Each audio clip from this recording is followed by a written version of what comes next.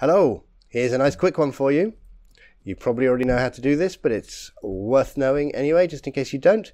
We are going to check what block is at a location. So let's put a button on there. Let's grab a block, put it down, and get its coordinates. Fill, tab, tab, tab. Copy those. Copy. Back to our command block. Execute if block at the coordinates is grey wool wool wool run say. It's grey wool. Is it grey wool? It's grey wool. What if it's not grey wool? What if it's a command block? Doesn't do anything? Okay let's change it from grey wool to command block. It's going to say it's grey wool. It's going to lie to us. It's grey wool. Excellent. There we go. Very simple.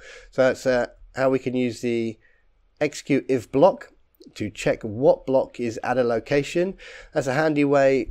Maybe um, someone comes back with a a prize, a redstone block to power something, and you say you must put the redstone block down in this hole.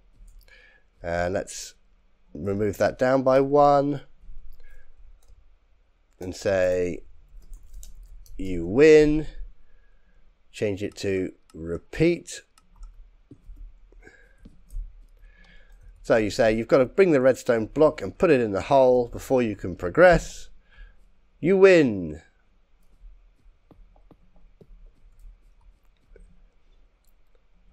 Let's change this to redstone block. Okay, so here we go. We've we've done the maze, we've done the parkour, we've come back with our redstone block, we put it into the hole, and we get a U win. Okay, nice and quick. Let's get rid of that. Nice and quick. That's it for this video.